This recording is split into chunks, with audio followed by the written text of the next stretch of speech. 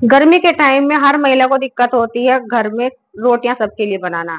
लेकिन फ्रेंड आज ऐसी ट्रिक आपके साथ शेयर कर रही हूँ कि आप खुशी खुशी कुछ ही देर में ढेर सारी रोटियाँ बना पाएँगे, वो भी पूरी फैमिली के लिए। बहुत ही अच्छी सी ट्रिक है, बिल्कुल एकदम न्यू ट्रिक है, आप देखिएगा। इससे पहले ये ट्रिक देख लीजिएगा, क्योंकि ये भी बहुत काम आने वाली है। अक्सर होता है क्या, इस तरह के जो शैम्पू के पाउच होते हैं ना, वो भी हमारे घरों में आते हैं और इसे हम यूज़ करते हैं। तो बड़े बाल होते हैं तो बड़े बाल होते हैं, पूरा शैम्पू लग जाता है। लेकिन होता क्या है फ्रेंड अगर हम छोटे बालों में लगाते हैं तो पूरा पाउच हमारा नहीं लगता और हम इसी तरीके से नीचे छोड़ देते हैं, रख देते हैं इन्हें। और अगली बार जब हम शैम्पू लगाने के लिए देखते हैं, शैम्पू के पत्ते को उठाते हैं तो पता चलता है शैम्पू तो सारा नीचे गिर चुका है। तो आपने करना क्या है? आप ना एक इस तरीके की क्लोथ क्लिप रखिएगा, जहाँ पर भी आप शैम्पू रखते हैं अपने बाथरूम में। इस तरीके से आपने क्लोथ क्लिप लगा देनी है। जो शैम्पू का माउथ पार्ट होगा वो ऊपर की तरफ़ होगा तो शैम्पू बिल्कुल भी नीचे नहीं गिरेगा। और आप दोबारा अच्छे तरीके से इस शैम्पू के पूरे पाउच को यूज़ कर पाएँगे। आइडिया अच्छा लगा है तो लाइक ज़रूर कीजिएगा, शेयर ज़रूर कीजिएगा फ्रेंड, क्योंकि ऐसी छोटी छोटी टिप्स हमारी काफ़ी सारी मनी सेविंग कराती हैं और हमारा समय भी बर्बाद होने से बचाती हैं। तो यहाँ पर देखिए कितने अच्छे से हमने शैम्पू को ऑर्गेनाइज कर दिया है। नेक्स्ट टिप होने वाली है इस तरह के क्लेचर को लेकर। तो हम लेडीजों के पास बहुत सारे क्लेचर होते हैं, लेकिन होता क्या है ना, हम इतनी लापरवाही करते हैं कि क्लेचर यूज़ करने के बाद कहीं पे भी रखा छोड़ देते हैं, कभी बेड पे, कभी ड्रेसिंग टेबल पे, कभी कहीं कहीं भी कहीं। और जब हमें दोबारा ज़रूरत पड़ती है इन्हें इस्तेमाल करने के लिए हम खोजते हैं तो मिलते ही नहीं है। अब एक जगह हो तो मिले ना तो आपने करना क्या है? मैं आपको एक बहुत अच्छी सी टिप शेयर करने जा रही हूँ। अगर आपके पास भी काफ़ी सारे क्लेचर हैं तो आपको लेनी होगी इस तरीके की एक चूड़ी। कांच की नहीं लेनी है मेटल की हो, वो ले लीजिएगा, या फिर प्लास्टिक की हो, वो ले लीजिएगा। तो आपने ये ले लेनी है, और अपने जितने भी आपके क्लेचर हैं आपके पास, छोटे, बड़े, वो सब आप इस तरीके से इसमें सेट कर दीजिए। ये देखिए, जब ये इसमें सेट हो जाएँगे तो आपको इधर उधर खोजने की ज़रूरत भी नहीं होगी, और आपको ध्यान रहेगा कि हमने अपने क्लेचर कहाँ पे रखे हैं। अब इसमें और भी क्लेचर आप टांग सकते हैं, नीचे ऊपर करके लड़ियाँ बनाकर क्लेचर की लगा सकते हैं, और इसे अपने ड्रेसिंग पे टांग दीजिए कहीं पे भी टांग दीजिए अपने घर में तो आपको ये ध्यान रहेगा कि हमारे जो क्लेचर है, वहाँ पे हमने रखे हैं।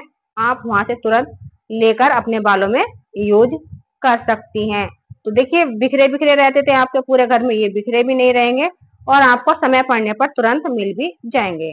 नेक्स्ट टिप होने वाली है रोटी को लेकर। हर महिला की यही प्रॉब्लम होती है कि गर्मियों में ढेर सारी रोटियाँ कैसे बनाए, क्योंकि गर्मियों में बहुत ज़्यादा गर्मी लगती है और चूल्हे के पास खड़ा होना बहुत ज़्यादा टेढ़ी खीर हो जाता है, लेकिन क्या करें? महिलाओं का काम होता है किचन का खाना बनाने का। और घर में अगर सभी लोग रोटी खाने वाले हों तो फिर तो और ज़्यादा दिक्कत हो जाती है। अब क्या करें? मजबूरी है, सबके लिए बना के देनी ही पड़ेगी। तो आप कीजिएगा क्या आपको चढ़ानी है कढ़ाई। तवे को साइड में रख दीजिए। तवे का काम नहीं है यहाँ पे बिल्कुल भी। कढ़ाई आपने चढ़ा लेनी है और आप देखिए, इसमें रोटी बेल बेल के डाल दीजिएगा।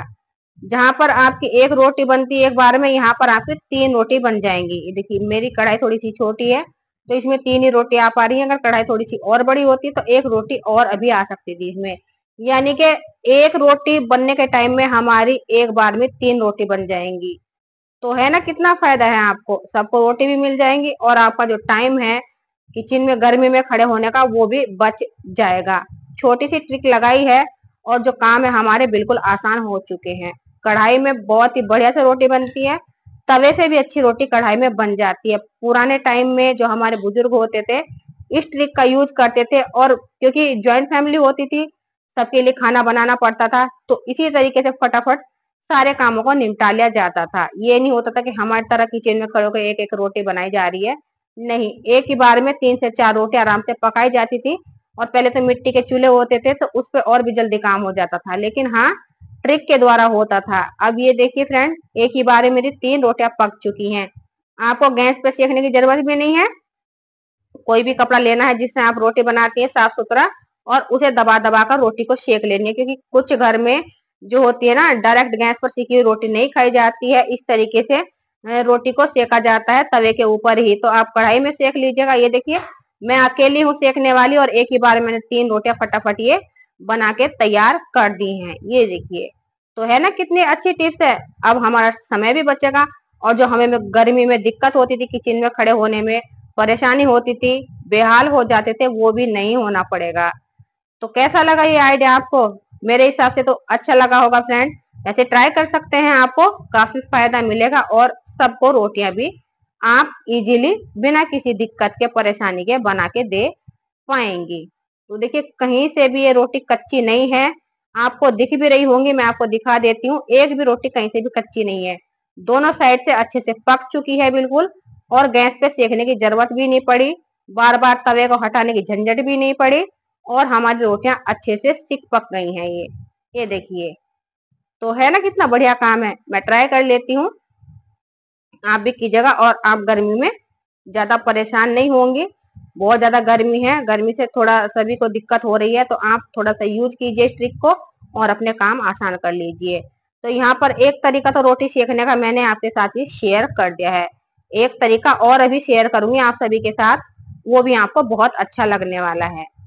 न्यू है एकदम, शायद किसी के दिमाग में कभी नहीं आया होगा, क्योंकि वो मेरी दिमाग की उपज है तो मैंने सोचा चलो मैं खुद बनाती हूँ तो मैं आपके साथ भी शेयर कर देती हूँ। ये देखिए फ्रेंड कढ़ाई की बनी हुई रोटी।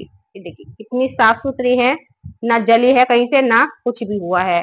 अब देखिए, दूसरा जो तरीका है रोटी सेकने का, वो भी मैं आपके साथ शेयर कर रही हूँ। इस तरीके से आपको रोटी बेलनी है पहले। रोटी बेलने के बाद आपने कढ़ाई में डाल देनी है। अलट पलट के दोनों साइड से आपको रोटी को सेक लेना है। ये देखिए अभी इसमें दो रोटी और भी आ सकती हैं, लेकिन वही है कि वीडियो ज़्यादा लंबा हो, हो जाती फिर और ज़्यादा लंबी वीडियो देखना कोई पसंद नहीं करता तो इसलिए मैंने सोचा चलो फटाफट आपको ये वीडियो दिखा देते हैं शॉर्टकट से एकदम।